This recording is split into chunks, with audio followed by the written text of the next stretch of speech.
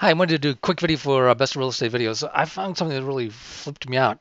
I noticed when I was reading about this new phone from Samsung, the Galaxy S5, that it had HDR video. What the heck? HDR video? And in a phone? What's that all about? My first uh, idea was like, yeah, it's not really HDR, but it's something else. But it, I kind of think it is. I'm not sure. If anybody knows more about it, that'd be great.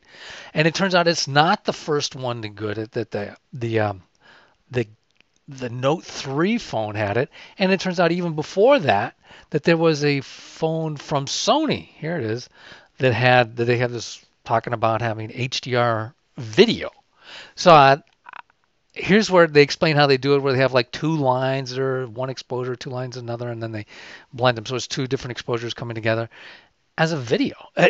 This flips me out because I thought at first it would show up that it needed so much computing power to do real HDR. If it's really real HDR, you would need it on a big DSLR to hold, uh, I don't know what, the computing power, and then it would come to smaller, and then phones last. But it turns out it's phones first.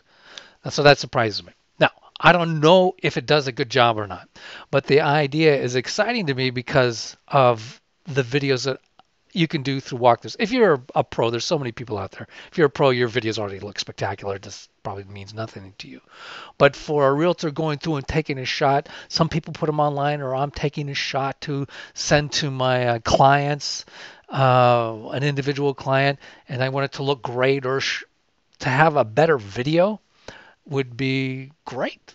So I can really see that would be valuable to me because lots of times you get in the situation where there's a they're not they're out of town during the inspection you're showing them all the repairs or or whatever it is or you're walking through hey i got this great new listing that just hit the market sending it back to the people in boston or whatever and uh, you're shooting it with a camera to get a, an additional feel f- tour for it even if it's an individual tour and a better view makes the place look spectacularly better. So that's or there's also people that put on these really uh, realtors that put on these walkthroughs that are just nothing just a guy walking through talking about the place. And this would work great for that because a lot of those look horrible.